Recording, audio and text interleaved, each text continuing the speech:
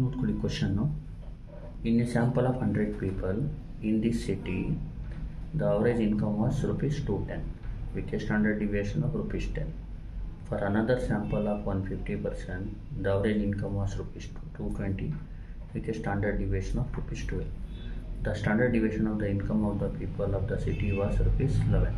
Test whether there is any significant difference between the average income of the the clear ಮಾಡಬೇಕು, ನೋಡ್ಕೊಳ್ಳಿ. ನೋಡಿ in a sample of hundred people ಇದು N one ಅಂದ್ಕೊಳ್ಳಿ sample size the average income ಇದು ಒಂದು X one bar average ಇನ್ಕಮ್ನ X one bar average ಬಂದು ಆ ಸ್ಯಾಂಪಲ್ದು ಎಕ್ಸ್ ಬಾರ್ ಅಥವಾ ಎಕ್ಸ್ ಒನ್ ಬಾರ್ ಎರಡು ಇರೋದ್ರಿಂದ ಎಕ್ಸ್ ಒನ್ ಬಾರ್ ತೊಗೊಳ್ಳಿ. ವಿತ್ ಸ್ಟ್ಯಾಂಡರ್ಡ್ ಡಿವಿಯೇಷನ್ ಆಫ್ ಇದು ಸಿಗ್ಮಾ ಒನ್ ತೊಗೊಳ್ಳೋಣ. Next for another sample of one fifty percent ಅಂದರೆ ಇದು ಎಂಟು ಟು ತೊಗೊಳ್ಳಿ. ದ ಅವರೇಜ್ ಇನ್ಕಮ್ ವಾಸ್ ಇದು X two bar which a standard ಇದು sigma two the standard division of the income of the people of the city was ಇದು ಇದು ಬಂದು sigma ಇದು ಬಂದು ಟೋಟಲ್ ಪಾಪ್ಯುಲೇಷನ್ದು ಸಿಗ್ಮಾ ಇದು standard test whether there is any significant difference between the average incomes of the localities ಹೆಂಗೆ ಮಾಡೋದು ನೋಡ್ಕೊಳ್ಳಿ. ಇಲ್ಲಿ ಮೇನ್ ಗಿವನ್ ಡೇಟಾ ಮೇಲೆ ನೀವು ಡಿಸೈಡ್ ಮಾಡಬೇಕು ಯಾವ ಫಾರ್ಮುಲಾ ಯೂಸ್ ಮಾಡಬೇಕು ಅಂತ. ಇಲ್ಲಿ ನಿಮಗೆ ಸ್ಯಾಂಪಲ್ ಸೈಜು ಆವ್ರೇಜು ಮತ್ತು ಸ್ಟ್ಯಾಂಡರ್ಡ್ ಡಿವಿಯೇಷನ್ ಎರಡು ಎರಡು ಸ್ಯಾಂಪಲ್ದು ಕೊಟ್ಟಿದ್ದಾರೆ. ಅವಾಗ ಈ ಫಾರ್ಮುಲಾ ಝೆಡ್ನ ಫೈಂಡ್ ಮಾಡೋಕ್ಕೆ ಈ ಫಾರ್ಮುಲಾ ಯೂಸ್ ಮಾಡಬೇಕು. Z is equal to formula ಬಂದು X one minus X one bar minus X two bar divided by root of sigma one square by N one plus sigma square square by N one two. ಈ formula use ಮಾಡಬೇಕು. ಇದು ಒಂದೊಂದು ಸತಿ X one bar minus X two bar ಇರುತ್ತೆ ಒಂದೊಂದು ಸತಿ X two bar minus X one bar. Depend on ಯಾವ್ದು ಜಾಸ್ತಿ ಇದೆ ಅದು. ಅರ್ಥ ಆಯ್ತಲ್ವಾ? ಇದು main aim Z value find ಮಾಡಬೇಕು. ಈ ಝೆಡ್ ವ್ಯಾಲ್ಯೂನ ಎರಡು ವ್ಯಾಲ್ಯೂಗೆ ಕಂಪೇರ್ ಸ್ಟ್ಯಾಂಡರ್ಡ್ ವ್ಯಾಲ್ಯೂಗೆ ಕಂಪೇರ್ ಮಾಡಬೇಕು. ಒಂದು ಒನ್ ಪಾಯಿಂಟ್ ನೈನ್ ಸಿಕ್ಸ್ಗೆ ಈ ಒನ್ ಪಾಯಿಂಟ್ ನೈನ್ ಸಿಕ್ಸ್ ಬಂದು five percent level of significance ಇನ್ನೊಂದು ಟೂ ಪಾಯಿಂಟ್ ಫೈವ್ ಏಯ್ಟ್ ಅದು ಒಂದು one percent level of significance ಗೊತ್ತಾಗ್ತಿದೆಯಾ? Rough work ನಮ್ದು ಮೇನ್ ಏಮ್ ಅಂದರೆ ಝೆಡ್ನ ಕ್ಯಾಲ್ಕುಲೇಟ್ ಮಾಡಿ ಝೆಡ್ನ ಇದಕ್ಕೆ ಕಂಪೇರ್ ಮಾಡಬೇಕು. ಕಡಿಮೆ ಇದ್ದರೆ ಝೆಡ್ ವ್ಯಾಲ್ಯೂ ಏನು ಕ್ಯಾಲ್ಕುಲೇಟ್ ಮಾಡಿ ಮಾಡಿದ್ದೀವಿ ಅದು ಗಿವನ್ಗಿಂತ ಅಂದರೆ ನಾವೇನು ಫೈನ್ ಮಾಡ್ತೀವಿ? ಅದು ಟ್ಯಾಬ್ಯುಲೇಟೆಡ್ಗಿಂತ ಕಡಿಮೆ ಇದ್ದರೆ ಎಕ್ಸೆಪ್ಟೆಡು ಏನಾದರೂ ರಿಜೆಕ್ಟೆಡ್ ಅಷ್ಟೇ. ನೋಡಿ. ಫಸ್ಟ್ ಏನು ಮಾಡೋಣ let H naught there is no significant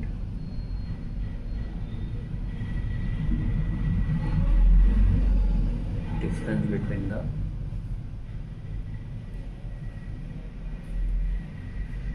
average income of lo- localities ಅಂತ ಬರ್ಕೊಳ್ಳಿ ಹೆಚ್ ಒನ್ ಬಂದು ಅದ್ರದ್ದು ಆಪೋಸಿಟ್ ಅಥವಾ ಇಲ್ಲಿ ನಿಮಗೆ ಬರೋಕ್ಕೆ ಬರೆಯೋಕೆ ಬರಲ್ಲ x one bar is equal to x two bar ಇಲ್ಲಿ x one bar not equal to x two bar ಅದ. ದೇರ್ ಈಸ್ ನೋ ಬದಲು H one there is a significant difference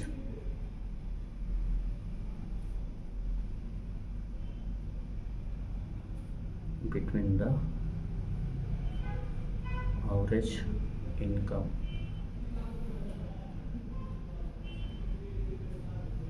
Two localities. ಅದು ದೇರ್ ಇಸ್ ನೋ ಇಲ್ಲಿ there is H one ಅದರ alternative hypothesis hypothesis ಈ given ಬರ್ಕೊಡೋಣ. ನೋಡಿ given n one ಬಂದು hundred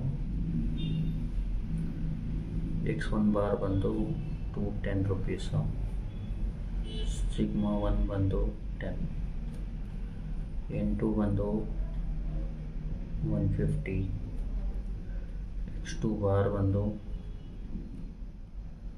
two twenty, sigma two twelve ಇಲ್ಲಿ observe ಮಾಡಿ ಇದು ಒಂದು ಈ ಸಿಗ್ಮಾ ಇದೆಯಲ್ಲ ಇದು? ಅಂದರೆ standard deviation of the population ಇಲ್ಲಿ ನೀಡೇ ಇಲ್ಲ, ಅರ್ಥ ಆಗ್ತಿದೆ ಅದೇನು ಬೇಕಾಗಿಲ್ಲ. ಸುಮ್ಮನೆ ಎಕ್ಸ್ಟ್ರಾ ಕೊಟ್ಟಿರೋದು ನಿಮಗೆ, ಇಷ್ಟು ಸಾಕು. ಅರ್ಥ ಆಯ್ತಲ್ವಾ? ಈಗ ಫಾರ್ಮುಲಾ ಅಪ್ಲೈ ಮಾಡೋಣ sheet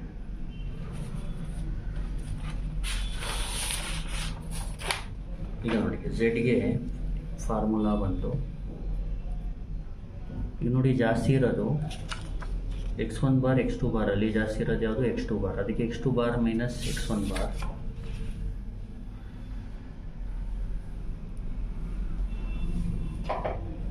divided by root of sigma 1 square by n1 plus sigma 2 square by n2 ಇಲ್ಲಿ ಎಷ್ಟು bar minus x one bar ಅಂದರೆ two twenty minus two ten whole divided by root of sigma one square ಅಂದರೆ ten square by n one ಅಂದರೆ hundred plus sigma two square ಅಂದರೆ twelve square ಎಂಟು ಅಂದರೆ one fifty ನೋಡಿ z value find ಮಾಡ್ಕೋಬೇಕು.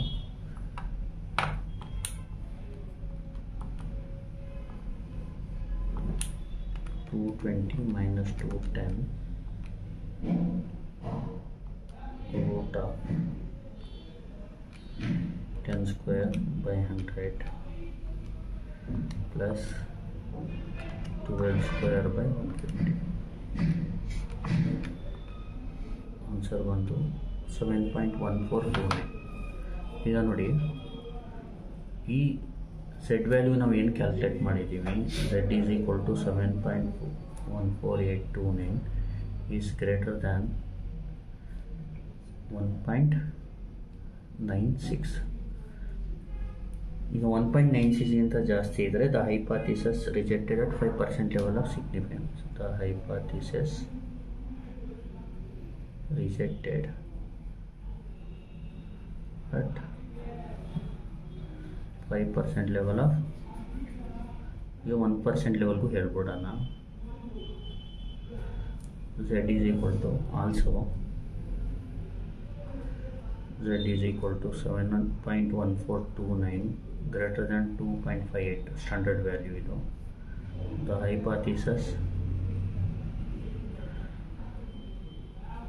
is rejected at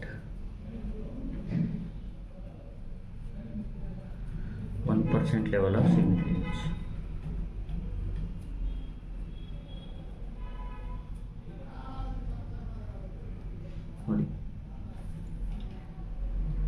hence thus there is a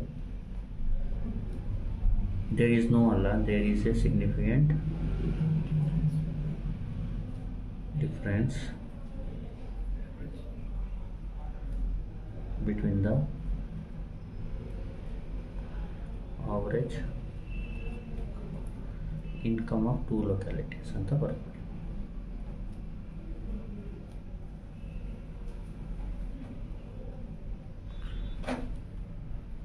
thank you please like share and subscribe